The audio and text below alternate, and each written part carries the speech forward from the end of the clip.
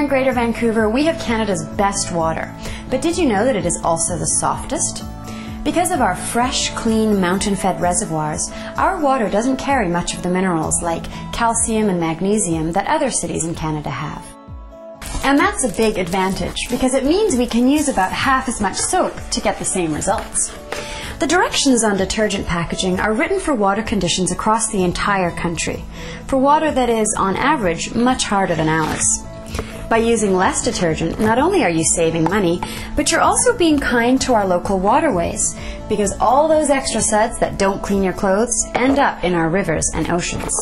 So, the next time you're doing your laundry or washing the car, the dog, or your dishes, try the use less, save more experiment and see how little soap you can use.